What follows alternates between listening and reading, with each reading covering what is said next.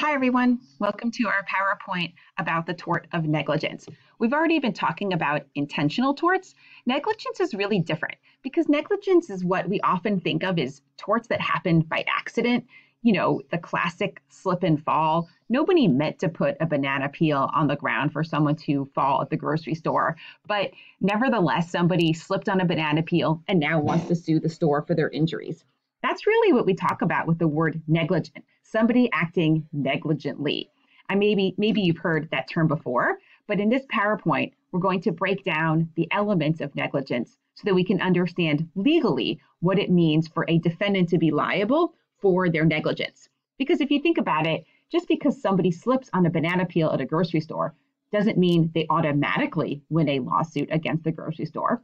But the other, on the other hand, nor does it mean that the grocery store can just turn to that patron and say, oh, this was all your fault. We don't have to pay for your damages at all. It's really somewhere in the middle, and that is the tort of negligence. So, really, in short, what is negligence? It is a tort law that allows for one party to recover damages based on the wrongful acts of the other. In my example, it would be the grocery store and its employees failing to do a good job of cleaning the floor and leading to someone being injured. When we talk about the tort of negligence, it's really important to go through the elements. Here is your four part negligence checklist that you should apply to any negligence problem. First, the court asks Did this particular defendant have a duty of care? Second, did the defendant breach the duty of care, meaning not live up to its obligations? Number three, did the defendant's breach cause harm? Was the causation? And of course, did the plaintiff suffer harm or injury? If you're looking at that word duty of care and thinking to yourself, this sounds familiar, it should. We talked about duty of care back in Unit 4 when you read Costa versus Red Sox. That was a classic negligence case. What kind of duty of care did the Red Sox owe that patron? So let's break down these elements a little bit more. Speaking of element of duty, everybody has legal obligations under the law. Everyone's under a duty to not injure others. For example, the last time you got in your car and drove around, you had a duty of care to be a safe driver on the road. A business like Middlesex Community College has a duty to keep the premises reasonably safe for people visiting, right? We don't want we want the elevators to work, we want stairwells to be clean. That's the duty of care that we all owe. And as we just said with these examples, businesses owe duties of care as well. Grocery stores owe duty owe a duty of care and even the Red Sox. But that's only the first element. So when we talk about these elements, what we mean is what does a plaintiff have to prove to prove a case of negligence? And element number one is a duty of care. The second element is breaching the duty. Breaching the duty means not living up to your obligations under the law. You fell short of what you were supposed to do. Here's a nice textbook definition failing to act as a reasonably prudent person would under the circumstances. Think about that from the perspective of a store owner, like a grocery store. If you own the store, and we can talk about you as the owner or your employees, and you're walking down the aisle, and all of a sudden you see a banana peel on the floor or something else spilled, what would be the reasonable thing to do? Well, probably clean it up, put a sign there to not step on it, maybe take your cell phone or your walkie talkie to radio someone else in the store to come with a mop and a sign. These are all reasonable steps. So, what we mean by breaching a duty of care is that someone didn't do that. Maybe the store employee saw the spill and just decided, I'm too busy to do it, or I'll get to it later because I'm so busy. Yeah, maybe that was not so reasonable. I gave you other examples too here of driving, like running a red light not so reasonable to run a red light. That's breaching your duty of care of being a reasonable, safe driver. What about medical malpractice? If you haven't heard this term before, it's lawsuits against the medical profession for injuries that individuals suffer. Medical malpractice lawsuits are also rooted in negligence. That's basically a plaintiff saying, I was injured by my doctor, like let's say during a surgery or a surgical procedure.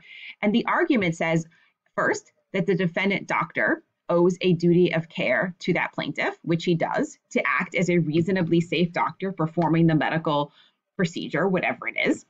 And if the doctor allegedly, of course, does not live up to his or her standard of care and injures the plaintiff, that's breaching a duty of care to the patient. And that's what the medical malpractice lawsuit would be rooted in. So those are the first two elements. We must first establish a duty of care, and second, a breach of the duty. What about the next two elements, causation and harm? Causation often sounds like the easiest element, doesn't it? We have to link the defendant's conduct with the injury. So a really easy example would be if I see the banana peel on the grocery store, maybe I don't see it. I'm in the grocery store, I'm walking by, I don't see the banana peel, I slip, I fall, but I'm not really hurt. I'm just a little embarrassed. And I get back up and I walk out of the grocery store and I get into the car and I get into a car accident on the ride home. Well, did the slip and fall, did the banana peel cause my injuries? Probably not, right? So you have to be able to link the injury to the actual conduct, the breaching conduct of the defendant. There has to be a causal relationship. So that brings me to these two important points about causation. There's two types of causation actual causation and proximate causation. Actual causation is what we call the but for test. This is kind of like linking dominoes, where you take you know, every single turn of event. And if you can connect them, that's causation. For example, Meg owns a convenience store. She sees a jar of jam crash and spill, but she doesn't clean it because she's too busy playing on her iPad. Her customer, Tim, he comes in and he slips on the jam. But for Meg's failure to reasonably clean the jam, would Tim have been injured? Of course not. So we can hold Meg liable because we can say that causation was present here. We can link the dominoes. The jam spilled, Meg didn't clean it up, and Tim got injured. That's the easiest way to establish causation. But not all, not all causation works so easily. Let's talk about a more complicated question. We also have to talk about something called proximate cause. Here's a great example. Tim and Meg are driving separate cars. Meg runs a red light and she crashes into Tim right? That sounds like negligence. We just used that example. They both exit their vehicles to exchange insurance information. All of a sudden, a bolt of lightning appears out of the sky, strikes Tim, and he dies. Is Meg liable? Has Meg is Meg's negligence the causation of Tim's death? Let's go through this. Think about the but for causation. But for Meg running the red light, Tim would not have had to stop his car and exchange ex- insurance information, right? We can link the dominoes here. So actual causation is present here. Meg is the actual cause of Tim's death. But does anybody think that's a little far fetched? That fact that she ran a red light and he just happened to randomly be struck by a bolt of lightning? In this type of case, we bring it back to this word called foreseeability. For proximate cause, we say, listen, of course there could be actual causation, but what we really want to think about with negligence is what type of harms were foreseeable. Foreseeable harms when there's been a car accident like this might be that Tim gets injured on the side of the road or something like that is foreseeable. The bolt of lightning, not so foreseeable. And this is the concept of proximate cause. A defendant is only liable when the injury was foreseeable. I want to mention a fun little famous case that gave us this principle of proximate causation called Palsgraf versus Long Island Railroad. This is a true case. What happened in this case was a train was coming into a station. And at one end of the train platform, a woman was standing next to this very large clock tower, and she was waiting for her train. A train comes into the station and starts to pull away. That's not her train. And it turns out that there's a gentleman who wants to get on the train that is moving. So he is running to get on the train. I actually don't think people would do this today, but they did in the 1920s. And he's running to the train and he happens to be holding a bag with him. Nobody knows what's in the bag. He goes to get on the train. He's trying to jump on the train, and the, the uh, engineer, the conductor, I guess, is trying to be really helpful and pulls the guy onto the train. And as he does so, the bag that he is holding falls out of his hands. And what do you think happens? I bet you can't guess because it was not foreseeable. The bag happened to have been holding explosives. And the explosives went off, causing a rattle at the train station. Remember that woman I mentioned at the beginning standing by the clock tower?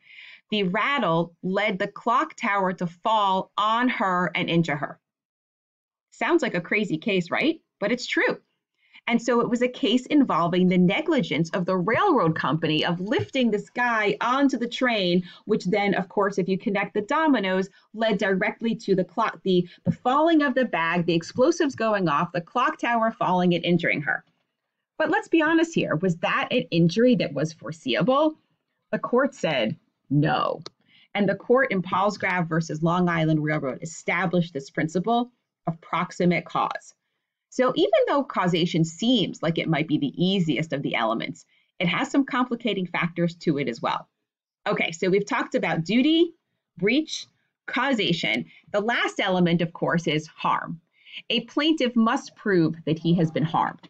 Remember the example with my banana peel that I just got back up afterwards? If I get back up afterwards, maybe I'm a little bit embarrassed, nothing big. I haven't been harmed. So really, there's no lawsuit there. What kind of harms are we talking about, though? Clearly, we're talking about physical harms. People can be hurt physically by tort conduct, but also financial harms. That could include time off of work to go see a doctor or spend time in a hospital. It might also include financial harms, like, well, including the lost wages, maybe lost vacation and sick time. But also, what about medical bills? A tort plaintiff who can prove duty, breach, causation, and harm can also show harm of a financial nature. What about emotional damages? That's a much tougher question, but there is something called pain and suffering that I might have nightmares after a tort case. Maybe I had, I've been the victim of a medical malpractice lawsuit or medical malpractice, and I now suffer from some anxiety or nightmares as a result of the negligence. Those are harms as well. So we went through the elements duty, breach, causation, and harm. And that is the four part checklist in order to prove a negligence case.